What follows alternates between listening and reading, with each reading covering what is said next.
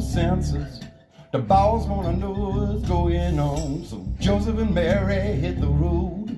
With Mary nigh on nine months gone. And you know we're talking about a hell of a walk. And they had no place to stay. They tried the inns and the hotels. The message was plain as day. You get no refuge, no respite, and no sanctuary here. No no sanctuary here. Home, home, home.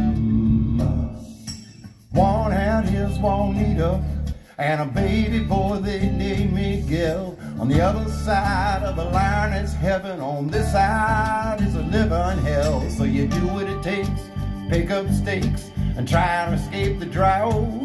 But when you get to the border, the INS, they got the welcome wagon out. You get no refuge, no respite, and no sanctuary here. No refuge, no respite, and no sanctuary here.